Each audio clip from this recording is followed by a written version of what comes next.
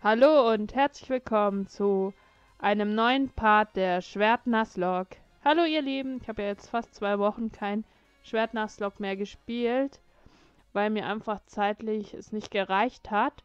Und ich freue mich jetzt riesig, wieder endlich weiter die Schwertnasslog zu spielen und euch mit neuen Parts ähm, zu unterhalten. Wir sind jetzt bei Part 3 und es passt ja sehr gut. In Part 3 erkunden wir jetzt Route 3. Oh, wir haben gleich mal einen Riesenpilz gefunden. Das ist sehr gut. Und wir haben hier auf dieser Route, glaube ich, noch kein Pokémon gefangen. Wenn ich jetzt keinen Blödsinn rede, aber wir gucken sicherheitshalber nochmal.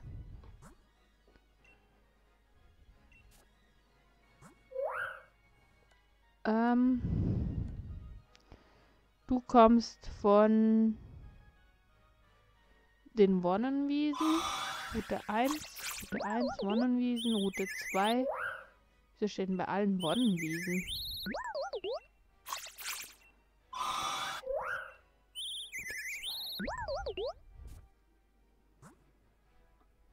Ja, weil wir nur fünf haben, ja. Gut, okay. Also, wir haben noch kein Pokémon auf dieser Route gefangen. Sehr gut. Dann wollen wir jetzt hier mal ins Gras gehen. Da ist das unser neuer Account da. Den haben wir schon. Ein Micro haben wir schon, meines Wissens. Das heißt, wir müssen es nicht fangen, oder? Wir haben ein Micro im Team. Ja, die Eier. Dann können wir aber trotzdem mit diesem Micro mal ein bisschen trainieren, damit wir noch ein bisschen Kampferfahrung kriegen. So, Wurms. Das richtet ja schon mal gut Schaden an. Weil ich weiß ja, der erste Arenaleiter, der hat Pokémon so um die Level 16. Und ich möchte halt, ich möchte jetzt nicht überlevelt sein, overlevelt sein, aber ich möchte halt auch nicht unterlevelt sein. Gerade der erste ist vielleicht noch relativ, relativ eins, der zweite, äh, einfach, der zweite auch noch. Aber danach kommen halt dann richtig schwierige Gegner und also, oh, das dürfen wir nicht fangen, weil es kein Zusatzencounter ist. Mhm. Aber danach werden es halt wirklich immer schwierigere Gegner und ich möchte halt gerne schon das durchspielen, die Schwertnasslok. Nicht overlevelt, aber auch nicht unterlevelt. Wolflaum. Oh.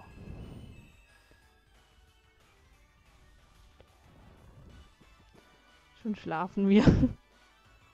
ähm, dann wechseln wir mal rein in Maya. Da es ein Pflanzen-Pokémon ist, können wir mit Maya ähm, dieses Pokémon gut besiegen.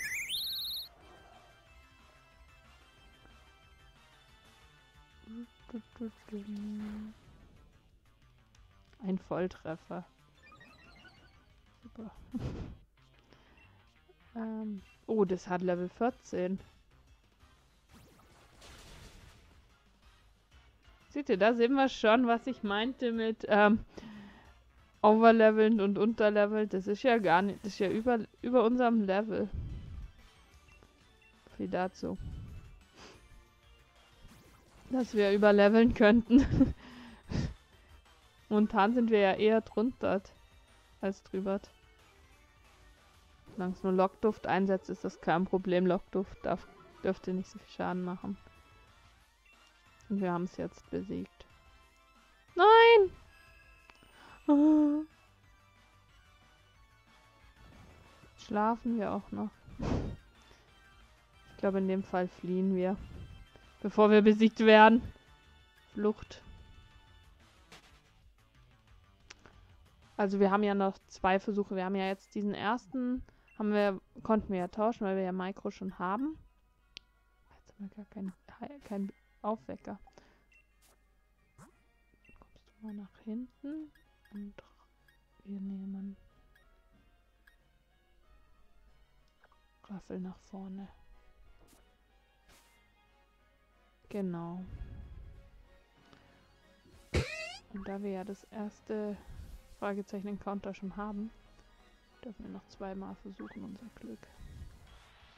Also ich würde sagen so, dass man drei versuchen kann. Ah ja, hier, das haben wir noch nicht. Pam, pam. Und wenn alle, wenn das dritte dann immer noch dasselbe ist, dann können wir entscheiden, ob wir den Account einfach auslassen oder halt dann doch nochmal ein zweites gleiches haben. Aber Pam Pam haben wir ja noch nicht.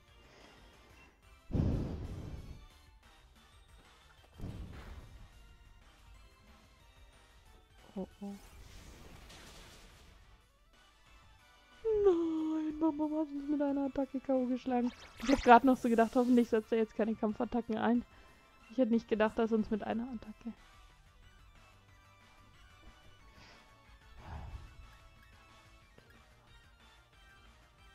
Kampf. Nehmen wir dich mal. Du solltest bei... Ah nee, der hat auch Unlichtattacken. Oh, ich Idiot. Entschuldigung.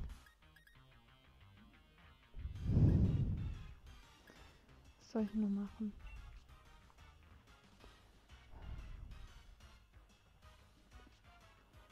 Wir versuchen es jetzt mit einem Pokéball zu fangen und hoffen, dass er drin bleibt.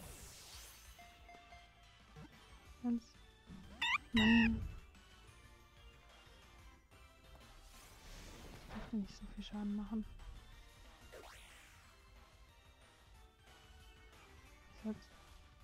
Na super. Damit kriegen wir auf gute 3 keinen neuen Encounter und haben sogar ein Pokémon verloren. Ja, super. Es läuft gut. Ich glaube, ich lasse ihn doch wieder. Wir können uns jetzt kurz heilen. Ich rede gerade ein bisschen leiser, weil bei mir im Flur irgendjemand rumboldert und ich mag das immer nicht so. Dieses Geboldere. Wer wurde jetzt besiegt? Raffa Raffaello, ja. Den müssen wir nämlich raushauen.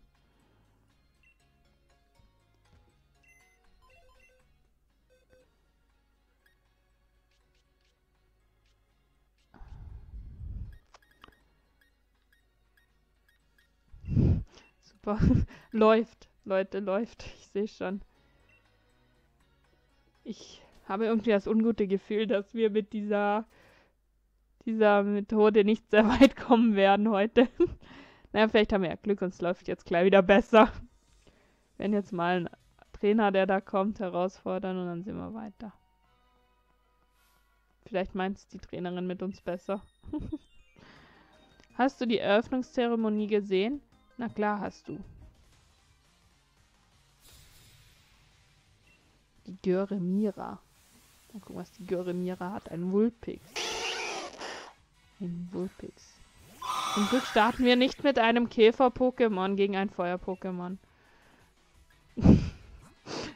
ich habe halt einfach nichts. Ich könnte auch hier mein Pflanzen-Pokémon einsetzen. Ich habe einfach nichts gegen Feuer. Oh je, das kann ja heiter werden. Oh, mein Spiel ist abgestürzt. Neustart. nee, nee. Vielleicht müssen wir wirklich nochmal einen ganz Neustart machen. War eigentlich Weiß nicht. Vielleicht spiele ich dann Schwert nochmal anders durch, wenn wir es nicht schaffen. Ich weiß es nicht. Aber jetzt sollte ich nicht schon aufgeben, bevor ich überhaupt besiegt wurde. Vielleicht gewinnen wir ja gegen dieses Vulpix. Ich meine, so extrem viel Schaden macht es jetzt nicht bisher. Da machen wir mehr Schaden mit Pixar.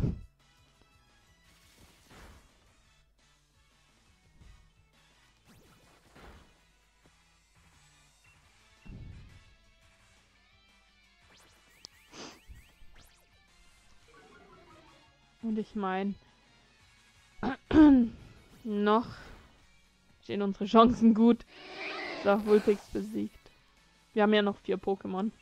Und wir haben ja noch, ich glaube, zwei Routen, wo wir Pokémon fangen dürfen. Jeweils eins, bevor wir gegen den Arena-Leiter kämpfen müssen. Und wir haben Rasierblatt gelernt. Das ist eine sehr gute Pflanzenattacke.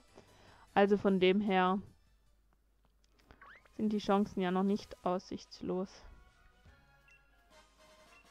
Drei Heilbälle. Könnten hier mal noch gucken, ob wir dieses Mikro besiegt kriegen. Dann haben wir wenigstens noch ein bisschen Erfahrungspunkte gesammelt.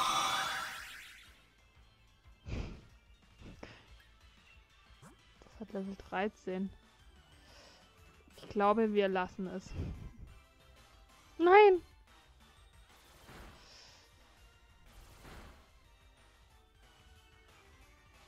Ist Schwert irgendwie schwerer als Schild, oder? Bilde ich mir das nur ein, ey? Hatte noch nicht so viele Probleme bei Pokémon Schild. Bitte kein Flug- oder Feuer-Pokémon. Danke. Kommt so bestimmt mit einem Pokémon, was eine Attacke einsetzt und ich bin weg vom Fenster.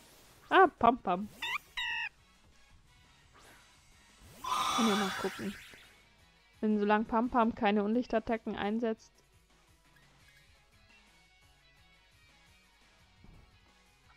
Ist es erst als Pantrago unlicht? Scheint noch gar nicht unlicht zu sein.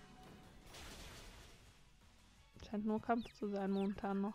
Und es ist verwirrt. Verwirrt ist auf jeden Fall sehr gut. Wenn es verwirrt ist, dann kann es nicht so viel Schaden anrichten.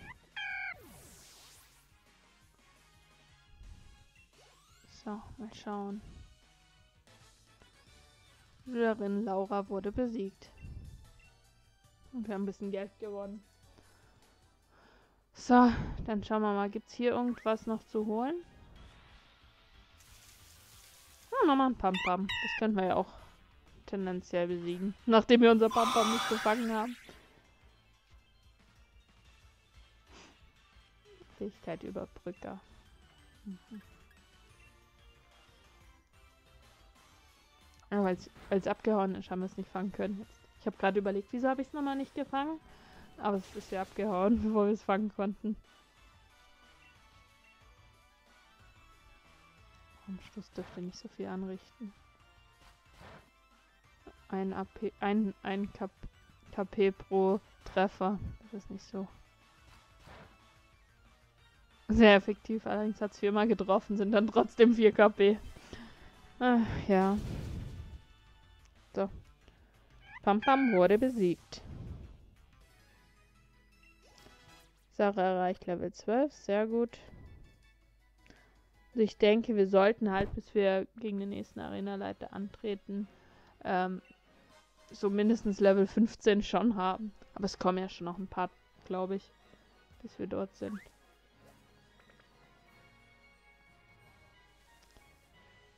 Das ist ein Uratytox. Unratütox. So, einen Trank einsetzen. Ich hatte ja ursprünglich ja auch geplant gehabt, ähm, mit einer Trankregel oder so zu spielen, aber momentan denke ich mir so, puh, ist schwer genug auch ohne Trankregel. Bis ich, glaube ich, tatsächlich eine Trankregel weglasse erstmal.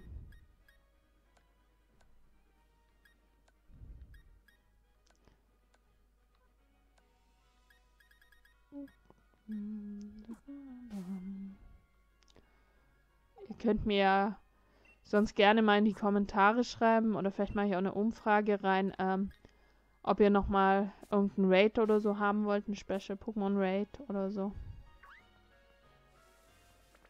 Da haben wir Nullpix unterwegs. Hallo. Ha, jetzt habe ich zur Abwechslung mal einen Trainer. Leider habe ich es nicht komplett gelesen und weiß nicht, was, was er gesagt hat. Irgendwas noch mit Pokémon. Knospi. Ein Knospi. Na, Pico, schaffst du das Knospi zu besiegen? Du bist zwar ein Level drunter, aber vielleicht schaffst du es ja. Oh, das richtet gut Schaden an. Ah, es war ein Volltreffer. richtet trotzdem gut Schaden an. Auch, auch Volltreffer, die können ähm, wenig Schaden anrichten, ähm, wenn sie wenn sie nicht effektiv sind und vor allem, wenn wir ein Level drunter sind. Also Klapp scheint gut Schaden zu machen. Super. Knospi wurde besiegt. Ich muss ja jetzt gucken, dass ihr wenigstens überlebt, ihr vier. Gesang möchtest du lernen. Da hat äh, Kulleraugen, komm, vergiss Kulleraugen. Rechte Hand könnte man eigentlich auch vergessen. Das ist so selten, dass du mal ähm, Doppelkämpfe hast wo dir das was bringt. Cutini ist Pflanze, dann setzen wir Maya ein.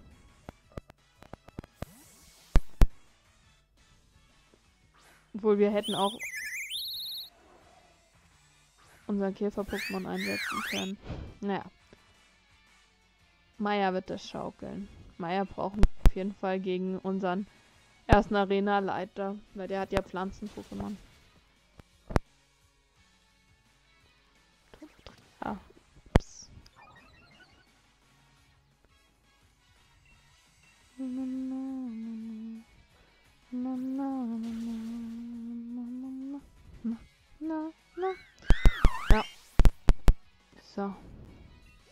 Pflanzen-Pokémon besiegt. Maya erreicht Level 15. Sehr gut. Fine Level 13. Oder Fina. Oh Mano. Mehr als blöd. Tja. Ah, das San. San. Sansa wollte ich gerade sagen. Sanja. Jetzt erzählt sie uns wieder die Geschichte. Von diesen komischen Türmen, die Liga-Präsident Rose gehören. Oder dem Kraftwerk.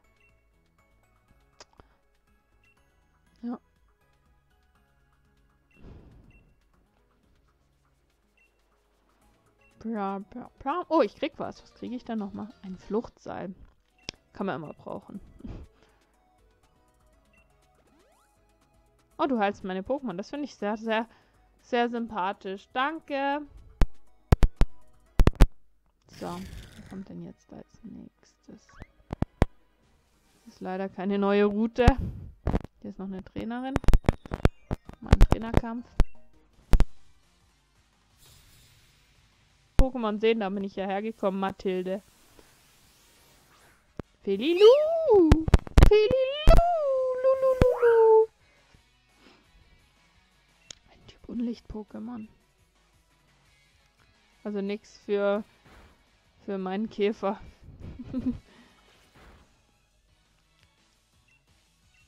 Aber glaub's richtet ja gut Schaden an. Gegen Fililu. Da bringt jetzt auch dein Heuler nichts mehr. Du hast so wenig KP. Das kriege ich auch mit gesenktem.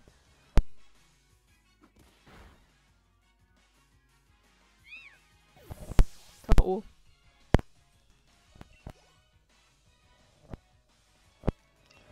Eine Rasse.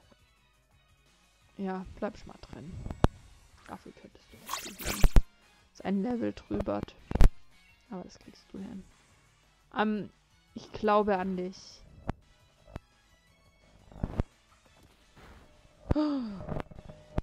Vielleicht auch nicht.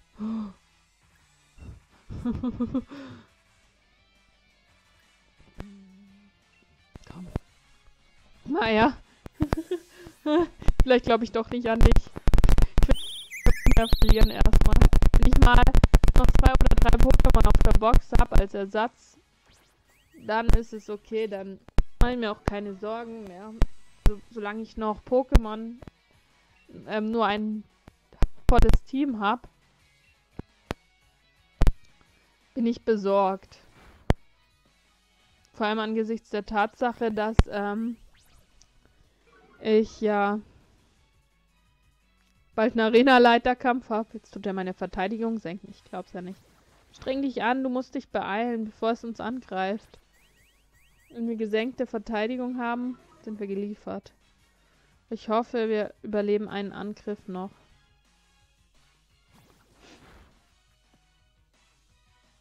Ah ja, setzt nur Routenschlag ein. Dann kann er gerne nur Routenschlag einsetzen, solange er danach nicht angreift. Und wir sind schneller. Wir müssten jetzt mit noch einem Piekser Raffel besiegen.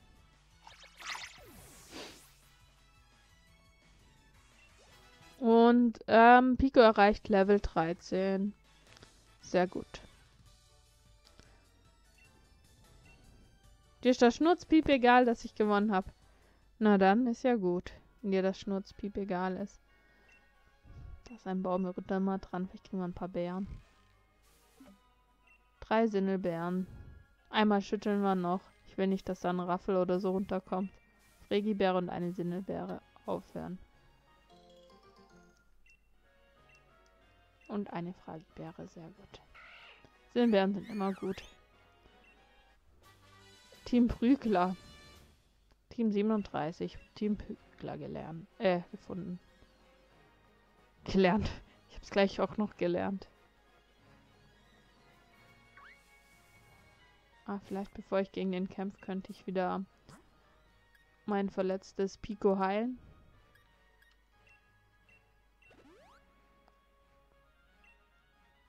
Ich wüsste, was der für Pokémon hat, würde ich jetzt tauschen, aber ich lasse sicherheitshalber mal vorne. Ich weiß echt nicht, was der für ein Pokémon hat. Der Herr Postbote.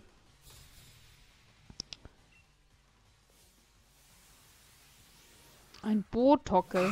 Ja, dann war es vielleicht ganz gut. Wenn der nämlich nur Geschenk kann, ist es nicht schlimm, aber wenn der jetzt Flugattacken beherrscht, wäre das äh, schlecht. Vor allem der ist schon wieder ein Level über uns. Und wäre zwei über Ding. Hallo? Aua. Fast die Hälfte der KP gemacht, aber glaub's auch. Bei Geschenk hat man ja immer noch die Chance, dass es auch... Jetzt haben wir die Hälfte. Ich glaube, da müssten wir nochmal eins überleben. Bei Geschenk hat man ja auch den, das Glück, dass es vielleicht statt Schaden schadet, ähm, auch wieder heilt. Aber momentan sieht es eher schlecht aus. Reicht's? Bitte lass es rein. Ja.